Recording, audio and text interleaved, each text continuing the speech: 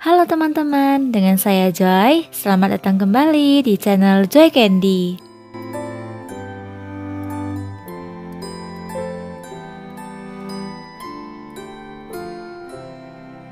Kali ini kita akan membuat resep yang di request oleh Kak Nindi. Terima kasih ya Kak karena sudah mau request resep kali ini. Yuk, sekarang kita buat sama-sama.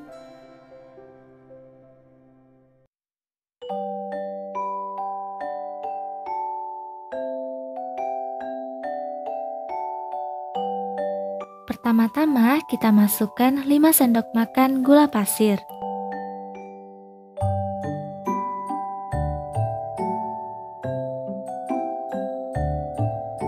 Kemudian kali ini kita gunakan Nutrijel dengan rasa kelapa muda.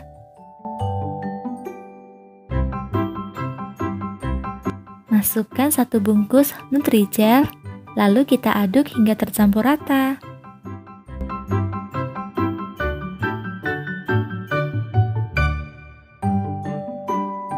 Kemudian sekarang kita tuang air putih.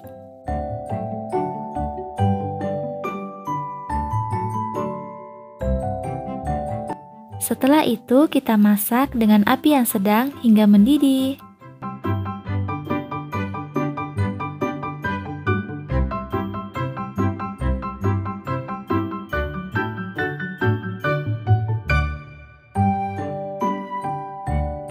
Setelah mendidih, matikan api kompor, lalu angkat dan sisihkan.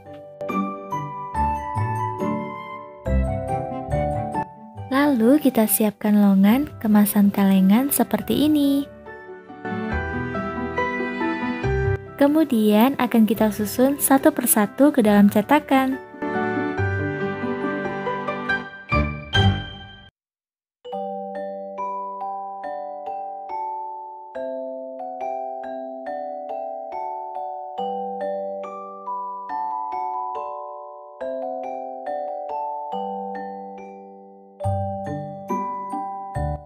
Lalu kita tambahkan coklat ganas atau boleh juga gunakan saus coklat ke dalamnya.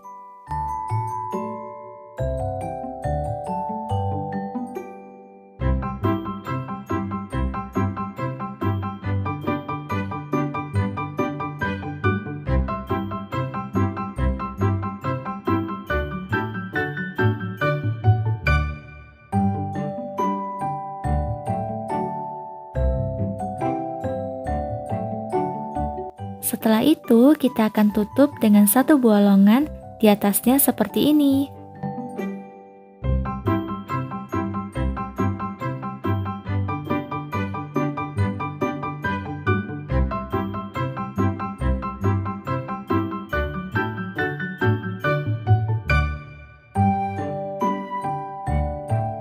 Dan bagi teman-teman yang ingin menjadikannya sebagai ide usaha, bisa kita gunakan cup plastik dengan ukuran kecil seperti ini.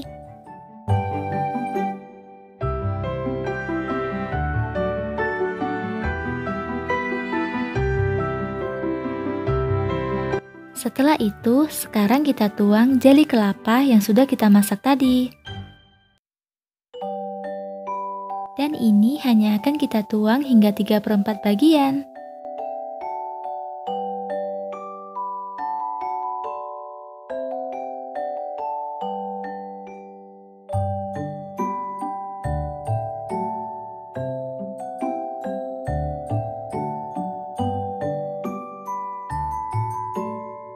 Setelah itu kita sisihkan terlebih dahulu dan sekarang akan kita masukkan kembali 5 sendok makan gula pasir ke dalam wajan.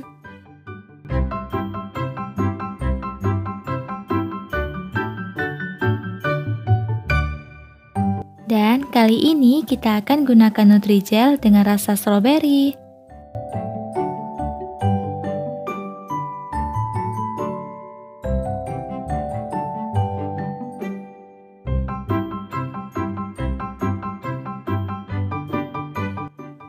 Ini juga akan kita masak dengan api yang sedang hingga mendidih.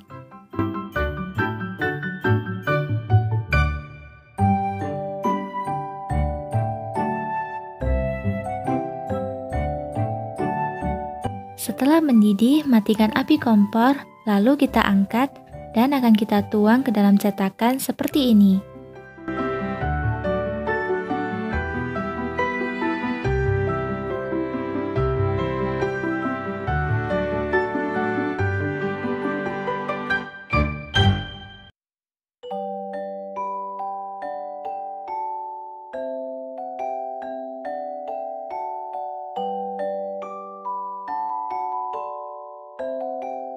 Kemudian, di sini aku tambahkan chia atau teman-teman boleh gunakan biji selasi.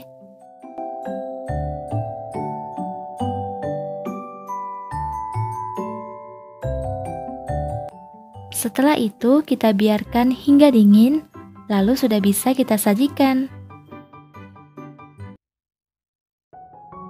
Nah, akhirnya resep kita kali ini sudah jadi. Semoga resep kali ini bisa memberikan inspirasi baru untuk ide cemilan dan juga ide usaha. Jadi teman-teman boleh mencobanya di rumah ya. Dan jika kita menggunakan coklat ganas, akan sangat mudah lumer saat kita letakkan di suhu ruang. Wih, aku sangat suka dengan coklat yang lumer. Teman-teman harus coba ya. Mohon bantu aku like, share, dan juga subscribe jika teman-teman suka dengan resep kali ini. Terima kasih, sampai jumpa teman-teman.